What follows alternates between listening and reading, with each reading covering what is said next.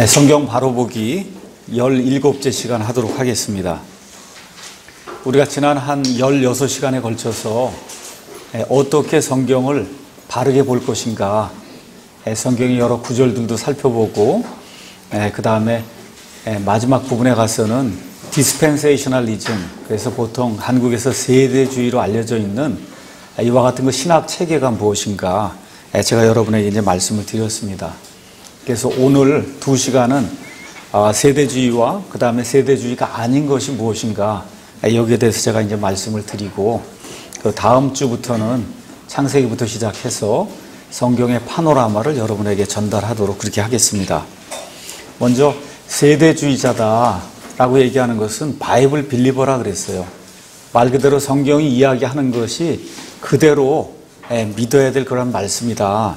이렇게 믿는 사람은 성경을 통해서 여러 가지 명백한 차이점들이 있다고 하는 것을 발견하는 사람이다. 그리고 그거를 인식하는 사람이다. 이렇게 말씀을 드렸습니다. 다시 말씀드려서 하나님이 지난 6천 년 동안 이 인류의 역사를 통해서 시대마다 사람들을 다루는 방식이 변한다고 하는 그 사실을 깨닫고 그리고 그 틀 안에서 성경 말씀을 있는 그대로 해석하고 자기에게 적용하는 그런 사람이다. 이렇게 이야기를 했습니다. 그래서 저와 여러분이 창세기부터 요한계시록까지 성경을 쭉 읽어보면 아, 몇 가지 중요한 그런 차이들이 이제 나오게 됩니다. 요약을 하면 첫째, 아담과 이브가 타락한 이후에 큰 차이가 생기기 시작했어요. 이걸 먼저 인식을 해야 됩니다.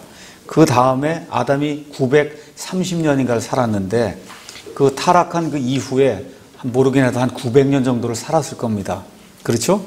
이게 쭉 나가는 가운데 노아의 대홍수가 이제 생기게 되는데 노아의 대홍수가 하나님께서 이 온 우주 공간을 만드신 이후에 약 한 1600년쯤 지나서 이 땅에 이제 생기게 돼요. 그러니까 지금부터 약 6000에서 1600년도 빼면 얼마쯤 되나? 얼마? 예, 4천 한 400년쯤 전에 예, 노아의 대홍수가 생기게 되면서 또 다른 차이점이 이제 발견이 됩니다. 노아의 홍수 이후에 8명이 살아남아서 그래서 인류가 그 8명을 예, 통해서 온 세상으로 이제 퍼져나가게 됐어요. 이런 가운데 바벨탑 사건이 생기고 그래서 바벨탑 사건이 걸 보니까 그 사건 전과 후가 여러 가지로 달라졌다는 걸 저와 여러분이 인식을 할 수 있을 겁니다. 그 뒤에 하나님께서 처음으로 아브라함을 부르셔서 그래서 유대인과 이방인을 나누는 그와 같은 사건이 이제 또 생기게 되는 걸 우리가 볼 수가 있습니다. 그 이후에 이스라엘 백성이 이집트에서 약 400년간 머물다가 하나님께서 가나안 땅으로 이들을 데리고 오시면서 시내산에서 하나님이 율법을 주세요. 그래서 처음으로 이 땅에 율법을 가진 그와 같은 백성이 생겨나기 시작했어요. 다시 말씀드려서 이렇게 예, 돌판에 기록된 그 전까지는 이렇게 기록된 명령들이 없었어요. 예, 그래서 돌판에 기록된 그런 명령을 주면서 우리가 구약 이야기할 때 영어로 Old Testament 이렇게 얘기해요. 신약은 New Testament. 그래서 testament는 언약인데 피를 가지고 세우는 언약을 testament라고 이야기해요. 그래서 그 전까지는 하나님이 예, 노아에게도 언약을 주고 했지만 이와 같은 그 신약과 구약이라고 하는 그런 의미에서 상속 유업의 언약이라고 하는 그와 같은 언약은 시내산 사건을 통해서 하나님이 모세를 통해서 이스라엘 백성에게 주게 됩니다. 그래서 우리가 사실 구약이라고 얘기하면 원래 어디부터 구약이 시작이 되는 거냐면 모세가 율법을 받은 그 이후부터가 사실은 구약이에요. 그 전에는 그냥 구약 시대라고 이야기할 수 있다. 예, 아담의 창조부터 시작해서 모세가 율법을 받을 때까지 다시 말해 상속 유업의 그 언약을 받으면서 피로다가 그 언약을 확증한 때 예, 그때 지금부터 약 3,500년 전에 그 일이 생겼습니다. 사실 그때부터 예수님 오셔서 십자가에 달릴 때까지가 구약이에요. 엄밀한 의미에. 자, 그거 끝난 이후에 이제 율법 시대가 이제 마감이 되면서 예수님이 오셔서 예, 죽으시고 묻히시고 부활하셨어요. 그렇죠? 그래서 그 사건 전후로 보면 엄격한 차이가 난다고 우리가 이제 알 수가 있습니다. 그래서 이제 교회가 이제 시작이 됐습니다. 자, 이제 교회가 예수님 공중에 강림하시게 되면 교회가 다 하늘로 채 올라가는 휴고라고 하는 그런 사건이 이제 발생하게 됩니다. 그 이후에 이 땅에 약 7년간의 환란기가 임하는데 그 7년 환란기의 한 중간에 계시록 12장 가서 보면 용과 그의 천사들이 땅에까지 쫓겨 내려오는 그와 같은 일이 생겨서 그 후반부 3년 반은 특별히 큰 환란, 대환란이라고 이야기해요. 그래서 환란기가 7년인데도 앞 3년 반하고 그 다음에 뒤 3년 반은 굉장히 많이 다릅니다. 이 7년이 다 끝난 이후에 그 이후에 어떤 일들이 발생? 예수님 이 땅에 강림하시고 강림하신 이후에 천년 왕국이 이 땅에 이제 생기게 되고 천년왕국이 끝난 이후에 새 하늘과 새 땅이 생기게 되고 그래서 하나님의 이와 같은 그 성경 안에 들어있는 이 계시들을 가만히 살펴보면 그러면 하나님께서 시대마다 사람들을 다루시는 그런 방법이 변한다. 예. 그래서 그 다루시는 그 방법이 유효한 그와 같은 기간을 우리가 dispensation. 예. 그래서 우리 말로는 어쩔 수 없이 시대라고 이제 그렇게 이제 번역을 했고, 예. 그 시대라고 번역을 하다 보니까 그걸 마치 한 세대, 두 세대 하듯이 이렇게 이해하면서 이걸 세대주의라고 사람들이 이제 그렇게 이제 부르게 된 겁니다. 그래서 다음 주부터 예, 성경의 파노라마, 예, 창세기부터 요한계시록까지 전체를 다 풀는 그와 같은 공부를 하겠다고 제가 이제 말씀을 드렸습니다. 자, 여러분 가지고 계신 그 노트에 중간에 가서 보시면, 예, 그러면 여기 신약시대 개관에서 1, 2, 3, 4, 5, 6, 7, 8, 9 번호가 이렇게 매겨져 있어요. 맞죠? 예, 그래서 구약은 이제 관두고 신약 시대에 앞으로 어떻게 모든 일들이 진행이 될 것인가 성경이 자세히 우리에게 이런 걸 이야기해 주기 때문에 가서 이제 살펴보겠습니다. 첫째가 십자가 사건이에요. 대략적으로 AD 30년경에 이 일이 생깁니다. 우리 예수님이 BC 4년경에 이 땅에 오셔서 33년 반을 사시고 그리고 AD 30년 4월경에 정확하게 어느 날 죽으셨을까요, 예수님이? 정확하게 6월절에 예, 죽으셨어요.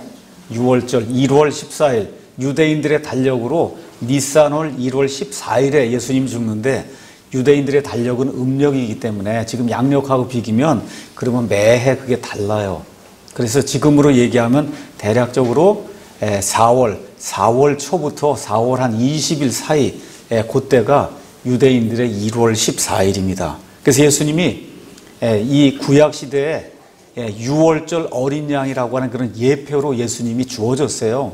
예표라고 하는 건 실제가 오면 실제가 그거를 그대로 이루어야 되는 거예요. 그 우리 예수님이 6월절 어린 양이니까 6월절 어린 양으로서 6월절 날 반드시 죽임을 당하셔야 된다. 예, 그래서 AD 30년 1월 정월 이 유대인들의 달력으로 1월 14일 날 예수님이 죽으셨어요. 자, 죽으셨다가 사흘 동안 땅에 계셨다가 묻히셨다가 다시 부활하셨어요. 그렇죠? 부활하신 다음에 이 땅에 얼마나 계셨어요? 예, 40일 동안 계셨어요. 40일 계시다가 어디서 하늘로 올라갔어요? 올리브산에서 하늘로 이제 올라가시고 예수님이 말씀하신 대로 올리브산으로 구름을 타고 다시 내려오십니다. 그렇죠? 예수님이 그렇게 약속을 해주셨으니까 예, 그래서 예수님의 그 승천이 사도행전 1장에 기록이 돼 있고 그게 여기 번호 2번입니다. 자, 그리고 나서 사도행전 2장으로 넘어가서 교회가 시작이 됐어요. 성령님이 예, 강림하셔서 오순절날 성령님이 강림하셔서 믿는 모든 사람 안에 영원히 거하는 내주하는 사건이 그때부터 발생하기 시작한 겁니다. 그렇죠?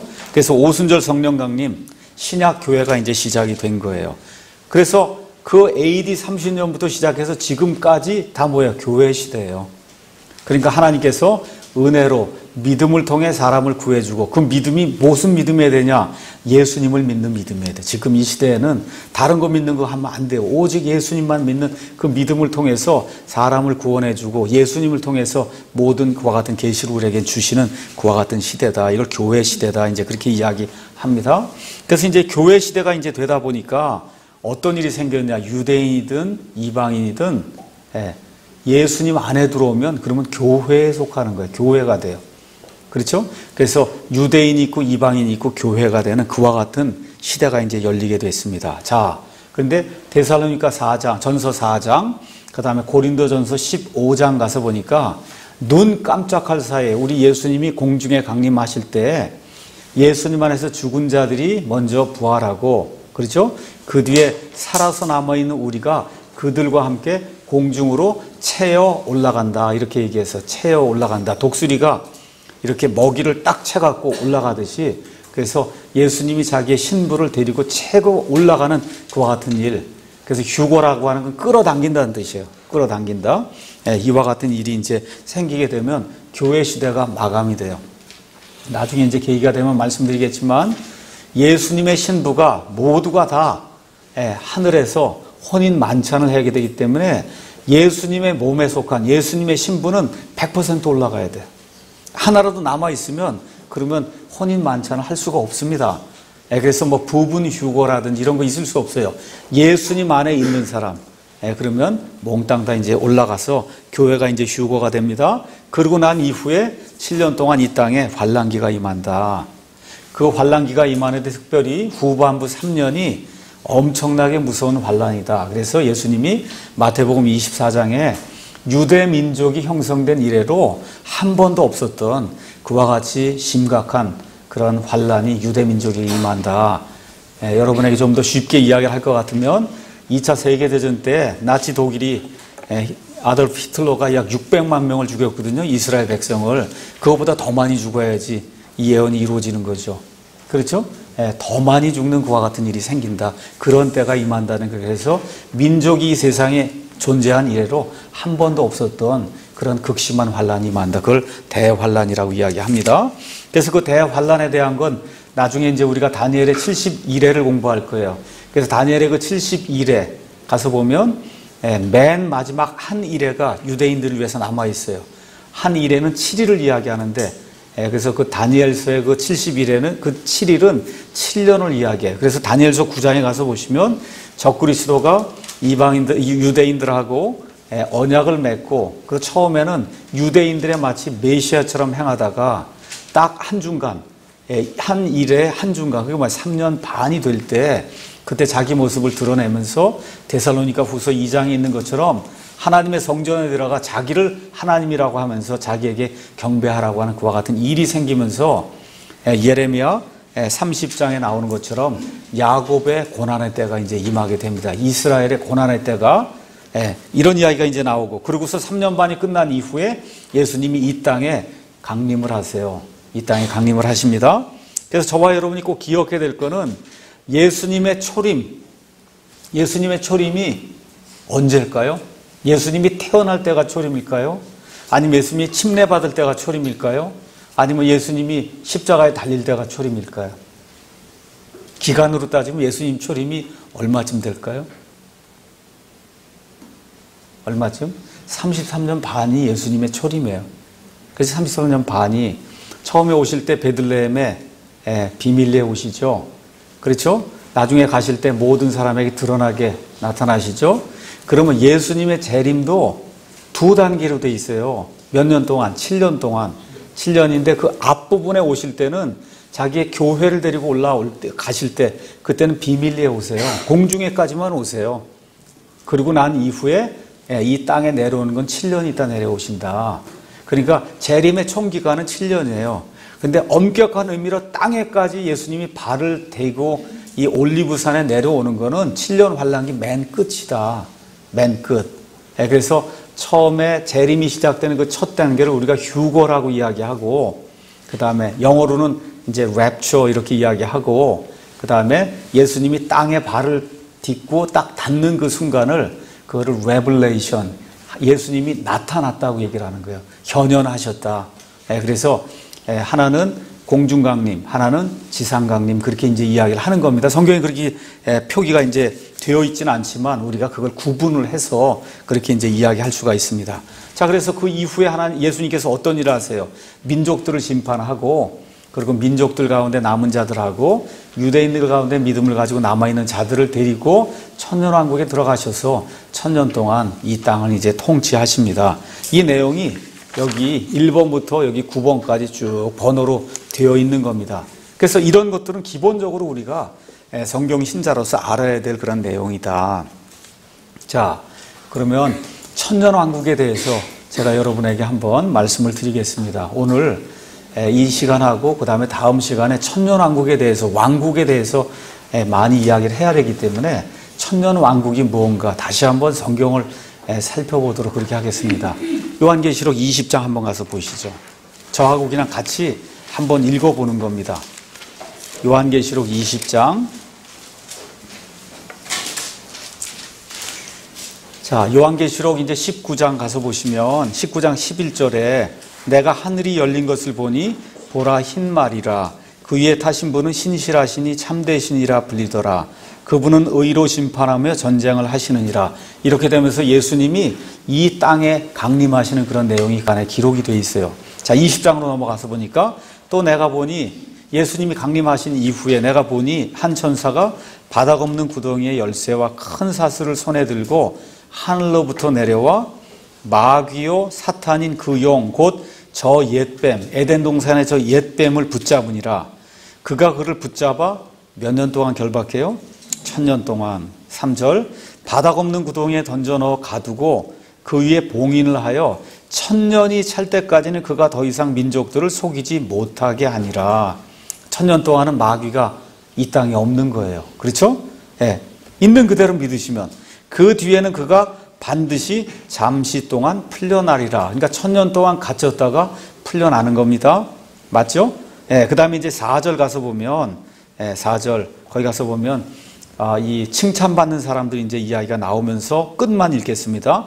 그들이 살아서 그리스도와 함께 천년 동안 통치하되, 아, 예수님과 함께 천년 동안 통치하는 그런 사람들이 있고, 근데 그 나머지 죽은 자들, 예수님 밖에서 죽은 자들은 그 천년이 끝날 때까지 다시 살지 못하였더라. 이것은 첫째 부활이니라. 그러니까 예수님과 함께 통치하는 사람들이 첫째 부활에 참여하는 그런 사람들이다. 거기에 참여하지 못한 자들은 천년이 끝난 이후에 부활해서 그래서 둘째 사망으로 들어간다. 지금 성경이 그 얘기를 하는 겁니다.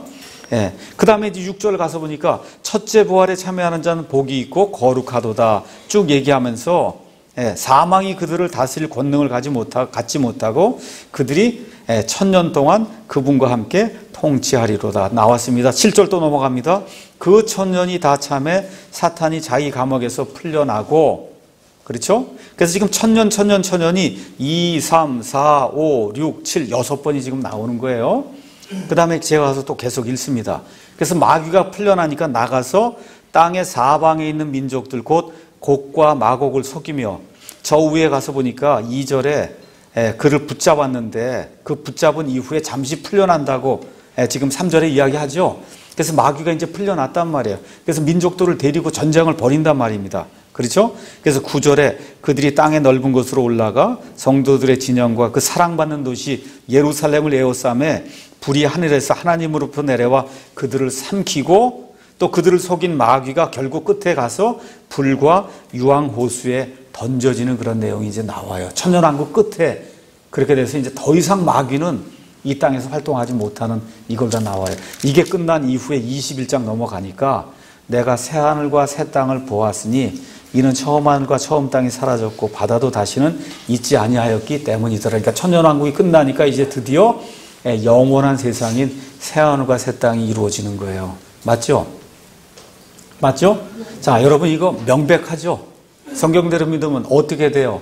이거를 천년왕국이 시작이 되기 전에 예수님이 오세요? 아니면 천년왕국이 끝난 이후에 오세요? 천년왕국 중간에 오세요? 아니면 천년왕국이 없어요?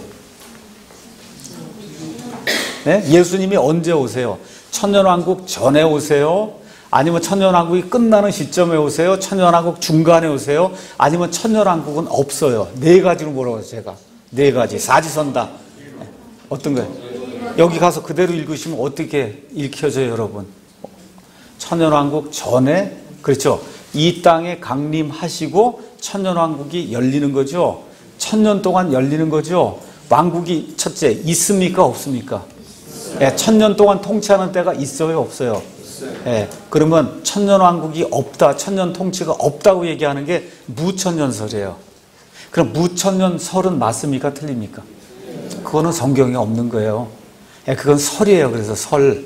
그렇죠? 부천년 설은 예, 천년 동안 예, 예수님이 다스리는 게 아니라 사람들이 노력을 해갖고 천년왕국이라고는 유토피아를 다 만들어 놓은 맨 뒤에 예수님이 이 땅에 딱 왕으로 내려오신다는 게 그게 후천연설이에요. 성경에 있어요, 없어요?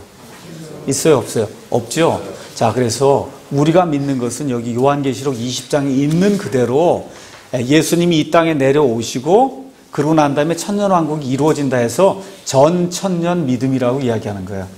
예수님이 재림하시는 게 천년왕국 전이다. 그래서 그거를 전천년, 영어로는 premillennialism이라고 이야기하는 거야. premillennium. millennium이라는 게 천년이라는 뜻이거든요. pre, 미, 전이라는 얘기예요. 그러니까 천년왕국 전에 예수님이 이 땅에 임하신다. 그걸 우리가 전천년 설이라고 얘기를 하지 않고 전천년 그건 믿음이에요. 이거 성경에 있는 거니까.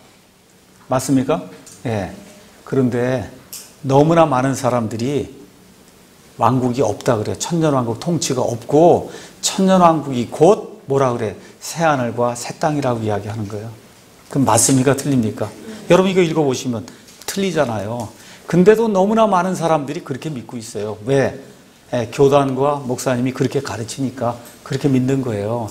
이런 거를 우리가 배격하는 겁니다. 이런 건 예, 성경을 믿는 것이 아니라 그런 이론을 편 사람을 믿는 거지 네, 성경을 믿는 게 아니라는 거 너무 명백하잖아요. 여기 읽어보시면 예수님이 땅에 강림하시고 그 다음에 천년 동안 통치가 이루어지고 그 다음에 새하늘과 새 땅이 이루어지는 게 너무 당연한 건데 이 너무 당연한 게 대접을 못 받는 시대가 지금 이 시대다. 자, 그 다음에 그럼 천년 왕국 전에 휴거가 일어난다라고 하는 거를 예, 그 거기 가서 보면 예, 뭐라고 지금 이야기했느냐? 그 휴거는 이제 그 전에 이제 일어나는데 환란기가 있단 말이야.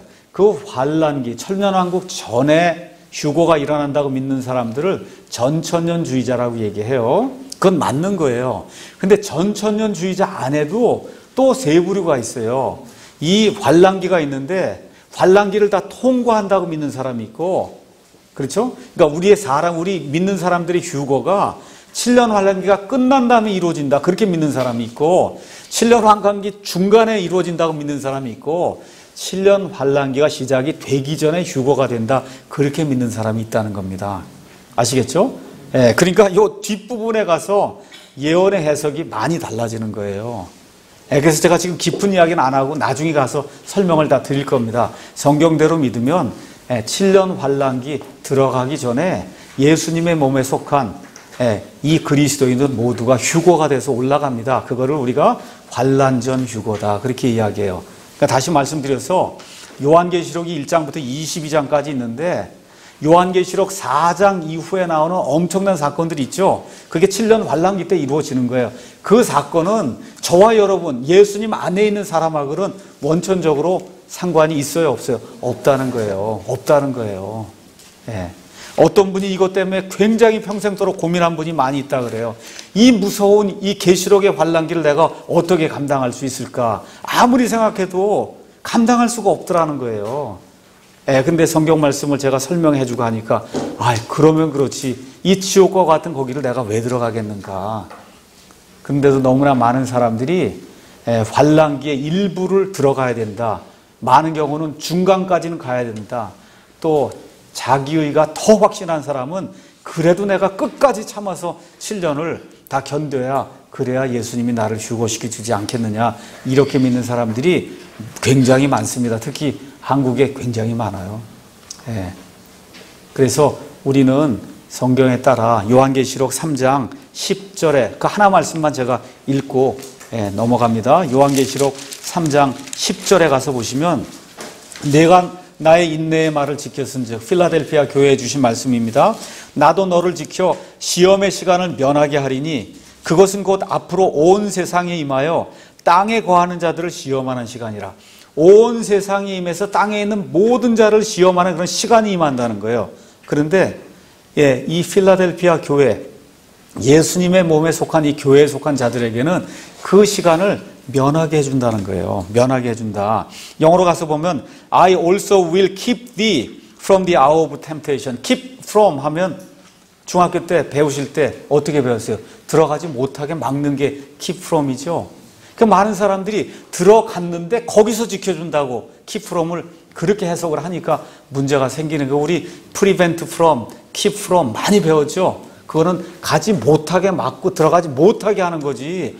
그 안에 들어간 상태에서 예, 지켜주는 게 아니다. 예, 그래서 여기 나와 있는 것처럼 I will keep thee from the hour of temptation. keep from 예, 이온 세상에 임해서 사람들 시험하는 그 시간에 아예 들어가지 못하게 하는 게 keep from입니다. 아시겠죠? 그래서 이와 같은 말씀들을 통해서 우리는 환란전 휴고 나중에 자세하게 이제 설명을 할 겁니다. 이걸 이제 우리가 믿어요. 자, 그 다음 장으로 넘어가서 세대주의자는 또 어떻게 성경을 해석하냐? 지금까지 이야기한 대로 문자 그대로 해석하는 거예요. 문자 그대로. 문자적이란 말은 말 그대로 글자 그대로 과장 없이 상상하지 않고 해석하는 겁니다. 그 예를 제가 들었습니다. 창세기 1장에 나오는 6일은 예, 거기 나오는 하루는 지금과 똑같은 24시간의 하루다. 계시록 여기 조금 아까 읽었던 계시록 20장의 천년은 문자 그대로 천년이에요. 문자 그대로 천년. 예, 다른 이유가 있을 수 없다는 거죠. 이렇게 이제 믿는 겁니다. 자, 이렇게 해서 성경을 문자 그대로 읽으니까 예, 아주 중대한 그런 결론에 이제 이르게 됩니다. 어떠한 결론에 이르냐? 예, 이스라엘과 교회는 다르다고 하는 그러한 결론에 이르는 거예요. 이게 같다고 놓으면 성경이 하나도 안 풀리는 겁니다. 저 중동 땅에 1948년도에 지금 이스라엘이 돌아와 있죠? 그렇죠? 저 이스라엘이 성경에 나오는 진짜 이스라엘이에요? 아니면 성경의 약속과 아무 상관이 없는 저 이스라엘 저거? 어, 여러분 어떻게 보세요? 저기 1948년도에 지금 이스라엘이 돌아와서 저 팔레스타인 땅에 지금 정착을 해서 이름이 지금 이스라엘이라고 이름을 지어놨잖아요. 저 국가가 구약 성경에 나와 있는 아브라함이 복 받을 복, 내 씨가 영원히 이 땅을 차지하고 내 씨를 내가 번성하게 하고 예수님 예수님 말씀 하나님 말씀해 주시고 신명기 같은 데 가서 보시면 내 씨가 말을 듣지 않으면 온 세상을 두루 돌아다니다가 내가 다시 내 씨를 모으겠다. 예수님 말씀 하나님 말씀해 주셨잖아요. 이런 약속에 따라 지금 저 돌아간 그 이스라엘이냐 아니면 그거 전혀 상관없는 그냥 예, 어중이 떠중이 지금 모여있는 그 이스라엘이냐 지금 어떤 이스라엘이냐 저게 여러분 예, 진짜 이스라엘로 저걸 보지 않으면 그러면 성경이 하나도 안 풀리는 겁니다. 그런데 너무나 많은 사람들이 예수님 믿으면서도 너무나 많은 신학자나 너무나 많은 이 목사님들이 저 이스라엘은 구약에 있는 이스라엘하고 아무 상관이 없다 그렇게 가르치고 있어요. 예. 그러니까 성경이 하나도 안 풀리게 되는 거예요. 특히 성경에 나오는 이스라엘과 관련된 예언은 하나도 못 푸는 겁니다. 그러니까 성경을 있는 그대로 믿으면 그러면 이 구약에 나와 있는 이스라엘과 신약에 나와 있는 교회는 다르다는 거죠. 그래서 구약 시대에 살면서 구원받은 이스라엘 사람들은 신약 교회의 일부가 아니라는 거예요. 다시 말씀드려 쉽게 얘기해서 아브라함과 이삭과 야곱의 후손이 이스라엘입니다. 아브라함이 구원받았어요. 야곱도 구원받았습니다. 다윗도 구원받았어요. 모세도 구원받았는데 이 사람들은 다시 태어난 적이 없어요. 성령님의 내주가 없었던 사람들이에요. 구원은 받았습니다. 그런데 다시 태어난다든지, 그렇죠? 아니면 성령님의 내주가 있다든지, 이런 건 경험을 못 해본 분들이에요. 왜 그러냐? 구약 시대 이스라엘에 속한 사람들이에요. 모세, 여호수아, 다윗, 솔로몬 다 이런 사람들입니다. 그 이방인은 누구냐? 이스라엘 사람이 아닌 모든 사람이 지금 이 시대의 이방인입니다. 그 이방 사람은 누구여야 되냐? 아브라함의 씨가 되면 이방 사람이 안 되는 거예요. 그러니까 아브라함의 씨가 아닌 사람은 몽땅이다 예, 이방인입니다. 자 그러면 여기 또 중간에 가서 보시면 중요한 그림을 제가 하나 좀 그려놨습니다. 교회 시대 그러니까 십자가 사건 이후에 오순절 강림 이후에 이 땅에 신약 교회가 형성이 되면서는 이 세상에 존재하는 사람을 하나님이 세 부류로 딱 나눠 놓으셨어요. 그래서 십자가 사건을 여러분 가서 보시면서 고린도전서 10장 32절 거기 내용에 가서 보면 십자가 사건 전에는 예, 유대인과 이방인만 있었는데 유대인과 이방인 이스라엘 여기 이스라엘이라고 이제 표현이 되는데 그 유대인 가운데 구원받은 유대인이 있고 구원받지 못한 유대인이 있습니다. 이것도 또 착각하면 안 돼요. 예, 아브라함의 자손은 몽땅 구원받는다? No, 아니에요. 아브라함 자손 가운데 믿음을 가진 사람만 구원받습니다. 로마서 4장에 나와 있는 것처럼.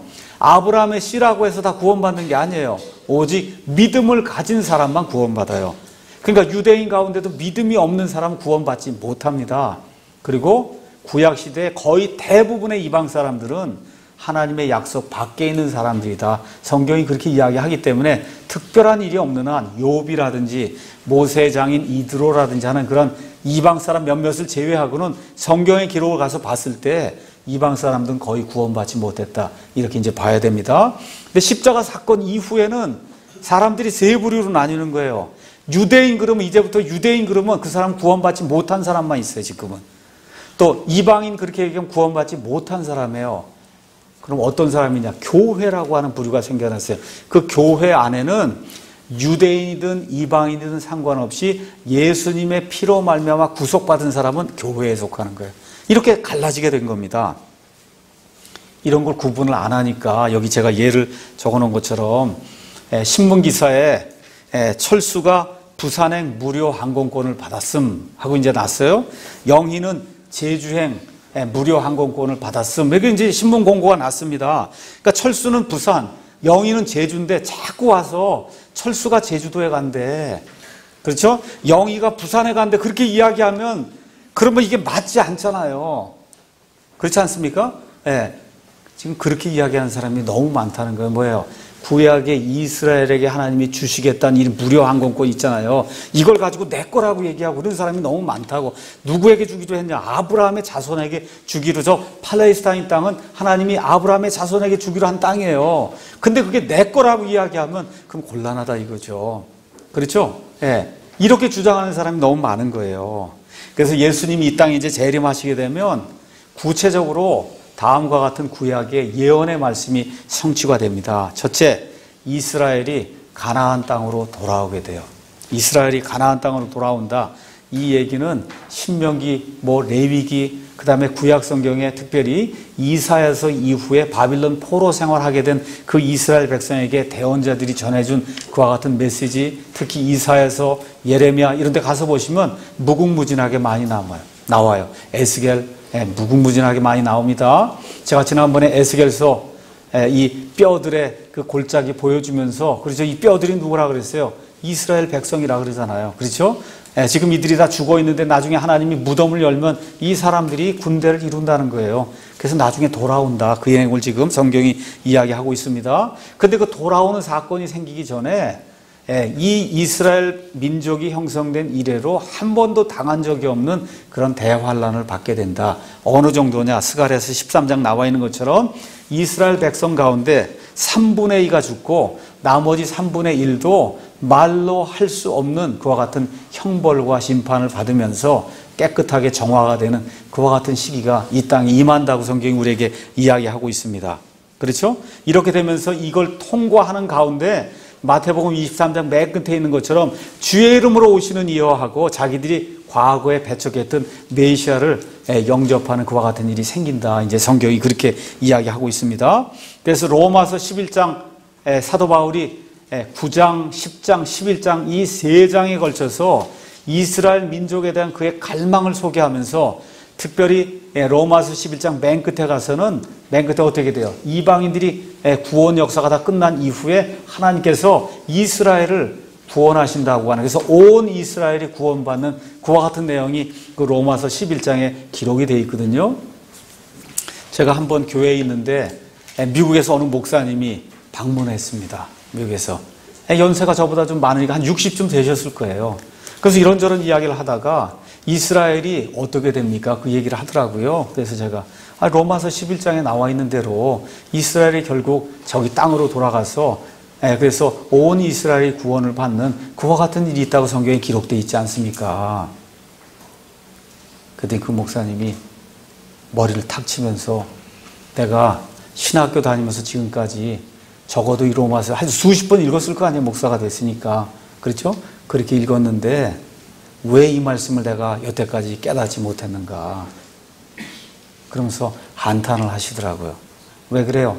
학교에서 그 이스라엘은 진짜 이스라엘이 아니라고 그렇게 가르쳐 놓으니까 30년 동안 이 성경을 읽어도 읽으면서 이거는 이스라엘이 아님하고 성경을 그렇게 읽는 거예요.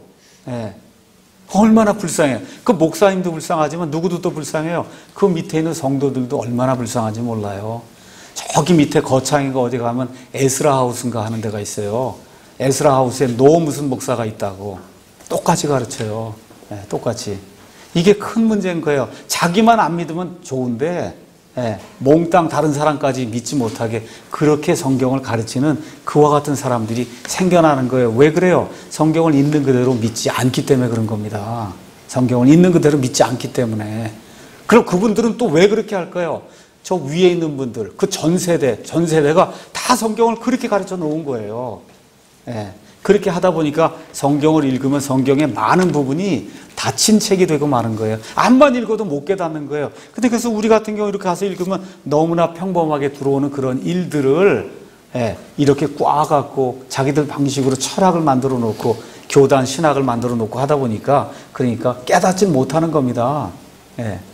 자, 그래서 이런 일들 이스라엘이 구속을 받아서 그래서 땅에 있는 모든 민족들 가운데 으뜸이 되는 그런 민족이 되고 다윗의 왕좌를 예수님께서 예루살렘에 세우시고 그래서 친히 또 다윗이 부활한다고 지난번에 말씀드렸죠. 부활을 해서 또 다니엘이 부활한다고 말씀드렸죠. 그래서 이런 사람들과 함께 온 땅이 천년 동안 통치가 되는 그와 같은 시대가 우리에게 열린다.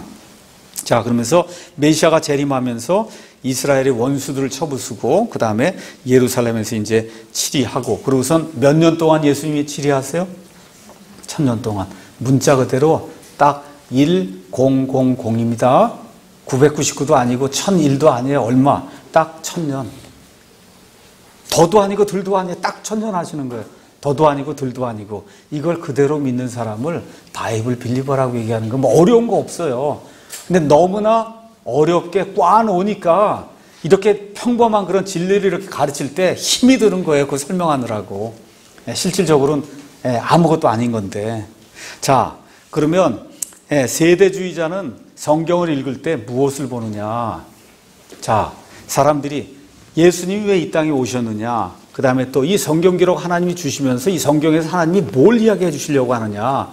예, 그리스도인들에게 물으면 하나님이 사람들을 구원하시는 거 그거 적어놓은 게 성경책입니다. 그렇게 이야기해요. 그렇죠? 많은 분들이 틀린 건 아닌데 예, 그거는 극히 일부에 지나지 않아요. 창세기 1장부터 요한계시록 22장까지 다시 말씀드려서 예, 영원전 과거와 시간이 들어온 때와 그 다음에 앞으로 다가온 영원 있잖아요. 이걸 이 책이 지금 보여주는 거잖아요. 그렇죠? 이 안에는 사람의 구원만 있는 게 아니에요. 저 하늘에 있는 천군 천사들에게도 하나님의 갖가지 지혜를 하나님이 알려주시고자 하거든요. 그러니까 다시 말씀드려 성경이 주어진 목적과 그 다음에 지난 6천 년간의 모든 역사는 무엇을 나타내려고 하는 거냐? 하나님의 영광을 나타내려고 하는 거예요. 하나님의 영광. 그 하나님의 영광 속에 뭐가 있냐? 사람의 구원이 있고 마귀의 멸망이 있고 이런 모든 것이 포함이 되어 있는 거지. 창세기 1장부터 요한계시록 22장을 읽으면서 무조건 사람 구원하는 걸로 이렇게 생각을 하면 문제가 많이 생깁니다. 예를 들어 노아의 대홍수 때 이 땅에 모르겠어요. 뭐 1억 명이든 몇 명이든 사람이 살았는데 그 가운데 몇 명이 구원받습니까? 8명. 그럼 하나님이 실패한 거예요? 그 많은 사람 가운데 8명만 구원받았으면 그럼 하나님이 실패한 거잖아요. 그런데 하나님은 실패하지 않은 거예요. 왜? 하나님의 영광을 드러내 보여주시거든요. 그 일을 통해서 메시아 계보를 내겠다는 그 일을 하나님이 이루어 나가시는 거예요. 그러니까 하나님이 뭐 낙심한다든가 어떤 사람 하나님이 조급해 하신다든지 하나님이 낙심한다든지 하나님이 실패한다든지 이런 일은 있을 수 없는 거예요. 그래서 창세기 1장부터 요한계시록 22장까지 성경의 총 주제는 뭐냐? 하나님의 영광이에요. 저와 여러분을 왜 지으셨냐? 하나님의 영광과 하나님의 기쁨이 되도록 저와 여러분을 지으신 거예요. 그 계획의 일부가 사람을 구원하는 거예요. 그 계획의 일부가 마귀를 멸절시키는 겁니다.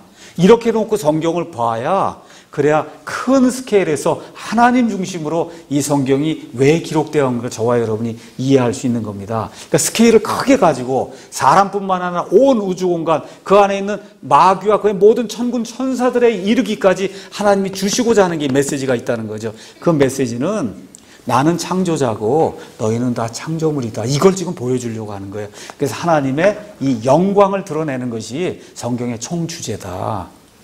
그거의 일부가 사람의 구원이다. 이해하시겠죠? 네, 그렇게 이제 봐야 됩니다. 자, 이렇게 해서 성경을 보는 걸 우리가 세대주의다.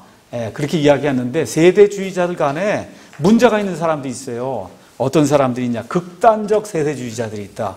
영어로 hyper dispensationalism을 하는 그런 사람들이 있어요.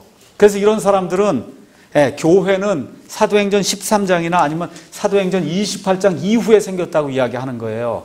이렇게 하니까 사복음서나 이런 거 이런 거는 그 전에 있는 일이니까 사복음서 예를 들어 마태복음 맨 끝에 가서 보면 예, 물로 침례를 주라 그러잖아요. 믿는 자들에게. 그 침례 같은 거 그거 줄 필요 없다는 거. 왜냐? 교회는 실질적으로 사도행전 13장 이후부터 아니면 28장 이후부터 생긴 거니까 예, 침례 같은 거, 주의 만찬 같은 거 이런 거 할 필요가 없다. 오늘날에는 그런 거 받을 필요가 없다. 이렇게 이야기하는 그런 사람들.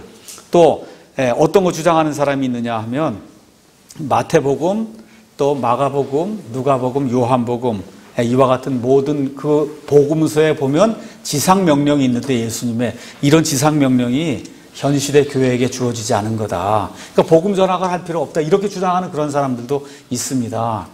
이걸 우리가 hyper dispensationalism 하는 그런 사람들이다. 이런 거 우리는 믿지 않습니다.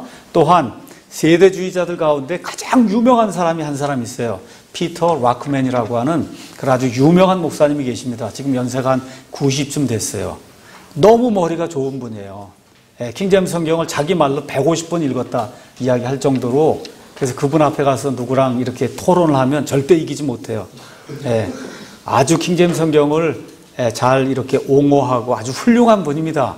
그분이 가르치는 그런 책들 가서 보면 남들이 가르쳐 주지 않은 그런 진리를 너무 많이 가르쳐요. 그런데 항상 문제가 천재에게 문제가 있어요. 천재는 잘 나가다가 옆으로 남들이 생각하지 못하는 걸 옆으로 해서 팍 튀어서 나가요. 그러니까 예를 들어 이런 주장을 하는 거예요.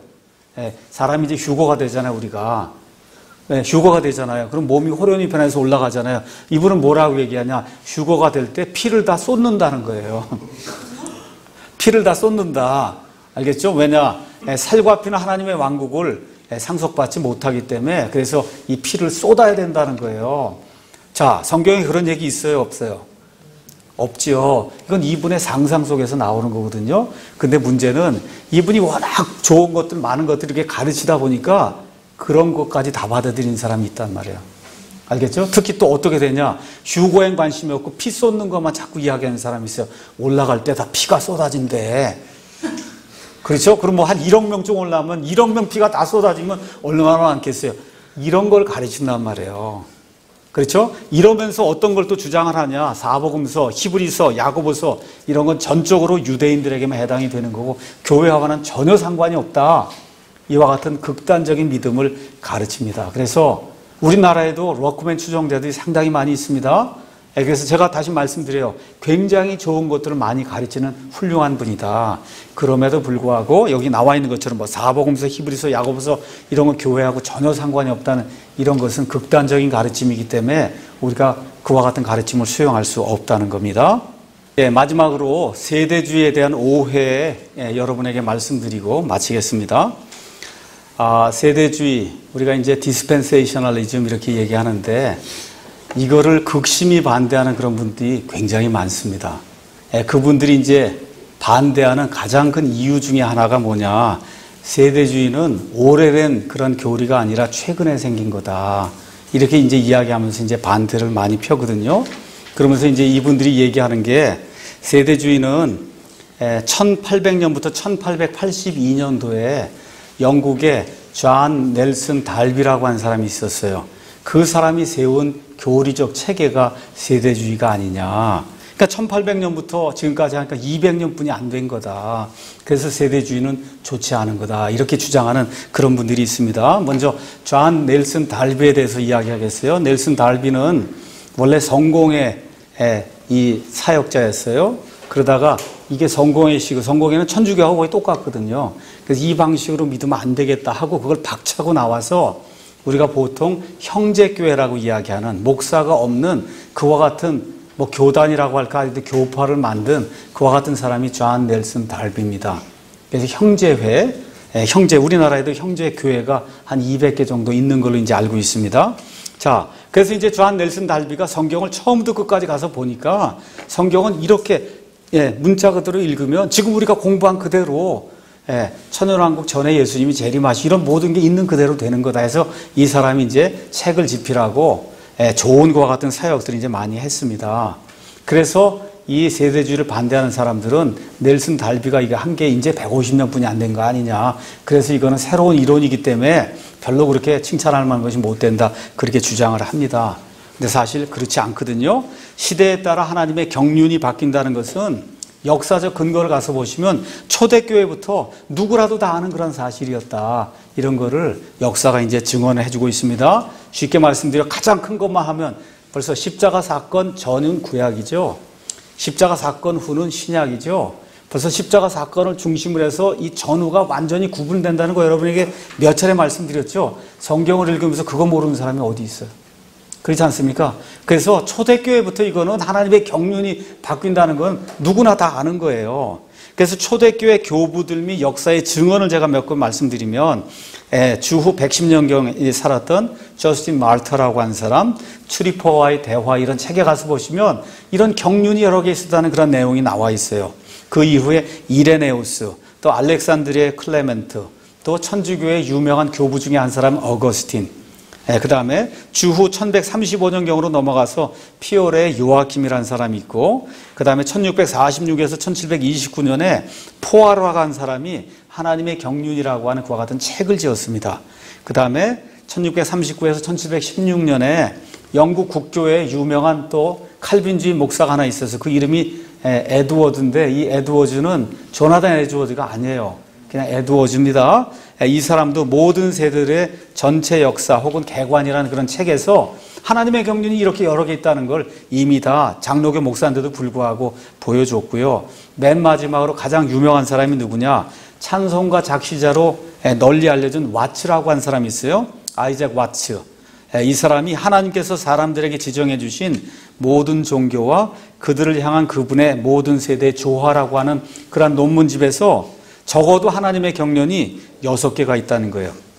무죄 경륜, 그 다음에 은혜 경륜, 노아 시대의 경륜, 아브라함 경륜, 모세 경륜, 그 다음에 지금 신약 기독교 경륜.